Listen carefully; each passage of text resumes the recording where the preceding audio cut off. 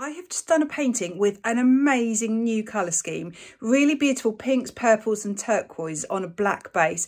Colours, the, the painting didn't turn out as I planned, but the colours were amazing. So I'm going to do another pour with exactly the same colours, but one of my pinwheel explosive Dutch pours um, on a hexagonal base. Um, to see what that will look like. I think it could look quite pretty. Um, so um, let's get started.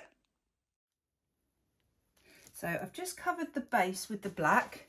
I'm just dabbing any, any little bits that have been missed at the edge. There's just a few. So the black I've used is Amsterdam, oh, what black is it? Um, Amsterdam Oxide Black. The paints I'm using for this pour, they're mixed, mixed to my Dutch pour consistency, which means they are mixed with flood floetrol and water. And I'll put the recipe in the description of this video.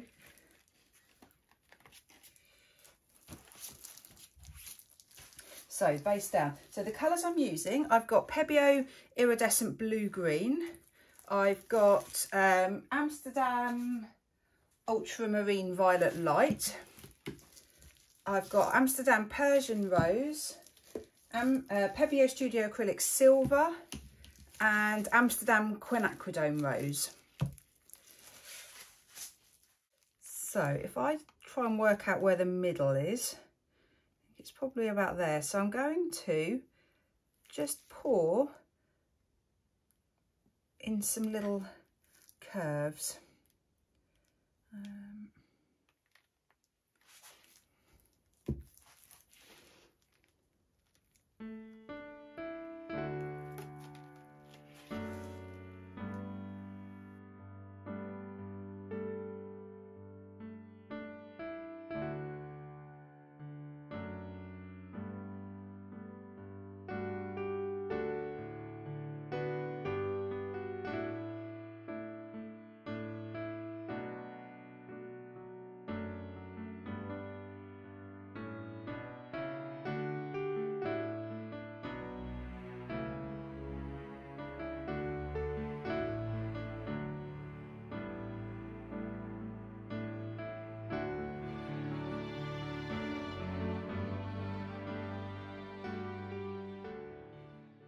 Right, that's a lot of paint. I think that's too much paint.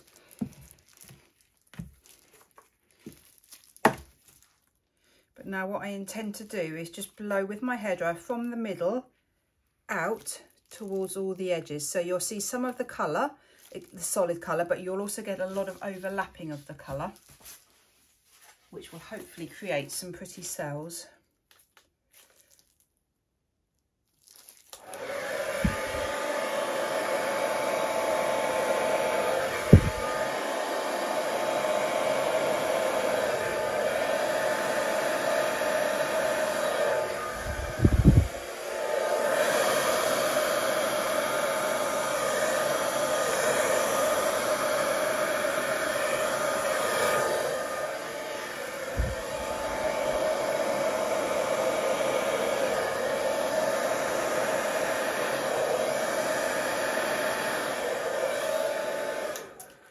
Am very, very pleasantly surprised. That actually worked a lot better than I was thinking. I thought I had far too much paint on.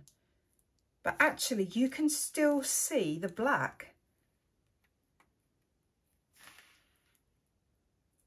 It hasn't come out like my pinwheel, but I think it's because there's just too many lines. But I really quite like it.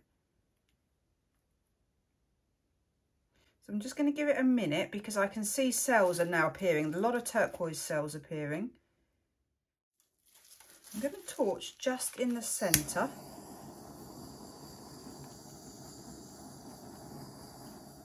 really really like it the colors are beautiful really happy that you've still got quite a lot of black there but it's not too much it's really subtle and it just highlights the colors really well the turquoise is the dominant colour in terms of the cells because the cells are just fab.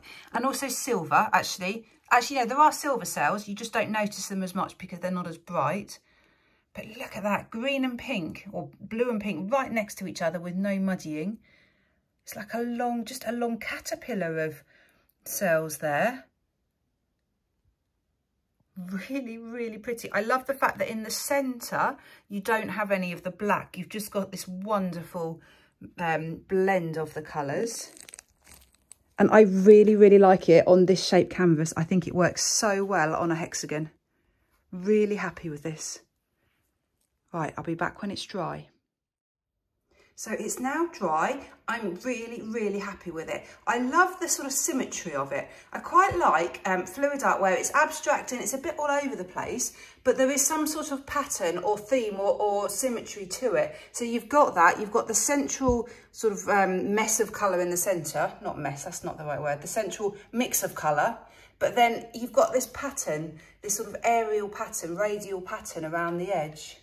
Um, the cells are beautiful. It's that turquoise um, and silver, but especially that turquoise. The cells are absolutely beautiful.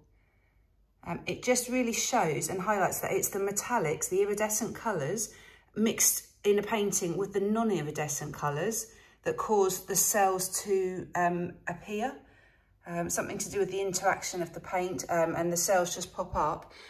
The colours I love. Love this on a black base. I'm not that familiar with black bases. I don't normally do them. I would normally do a light base, but the colours really stand out well um, on the black base. Um, and then the edges, I can show you the edges of the canvas. So I haven't done anything to the edges. I've just literally let the paint just fall over the edges, drip down. So that's really a feature of the painting as well, the edges. Great, thank you so much for watching. Um, please leave me a comment. I'd love to know what you think of this, of this style of painting, these colours. Um, let me know. Great, thanks for watching. Bye.